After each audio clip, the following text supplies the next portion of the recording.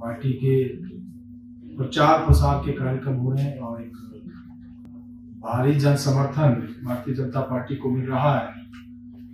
उसी कड़ी में भारतीय जनता पार्टी ने तय किया है कि 30 अक्टूबर को अड़सठ के अड़सठ विधानसभा क्षेत्रों में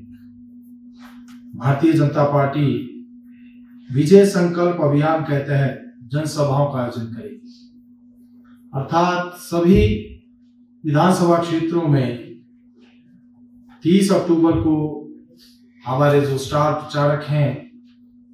वो हर विधानसभा क्षेत्रों में बड़ी रैलियाँ करेंगे।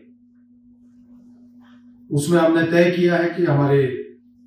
राष्ट्रीय अध्यक्ष जगत प्रकाश नड्डा जी, माननीय मुख्यमंत्री जयराम ठाकुर जी, केंद्रीय मंत्री श्री भूपेंद्र यादव जी केंद्रीय मंत्री श्री ज्योतिरादित्य सिंधिया जी, केंद्रीय मंत्री अनुराग ठाकुर जी,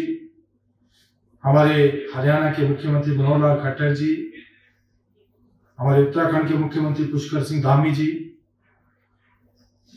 अविनाश राय खन्ना जी, मंगल पांडे जी, तेजस्वी सूर्या जी वाल्ती श्रीनिवासन जी, साथ में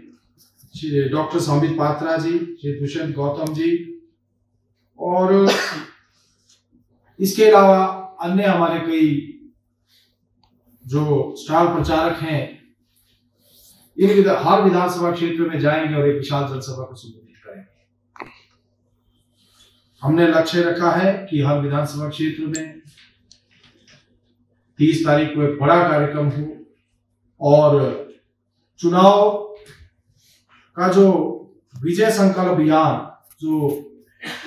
हमने इस बार फिर से भारतीय जनता पार्टी सरकार को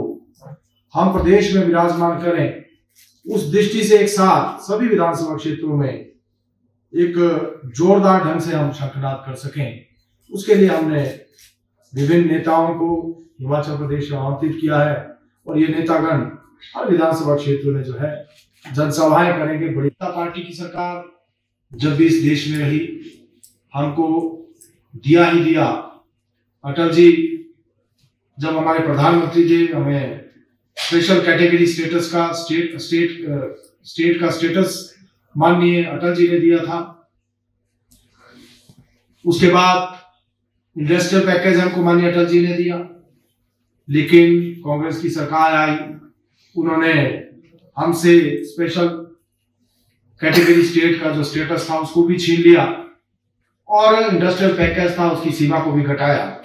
अर्थात भाजपा ने देने का काम किया, कांग्रेस ने उसको छीनने का काम किया। लेकिन 2014 में जैसे ही मोदी जी देश के प्रधानमंत्री बने, उन्होंने हमें फिर से जो पहाड़ी क्षेत्रों को स्पेशल कैटेगरी स्टेट का, जो स्टेटस है उसको बहाल किया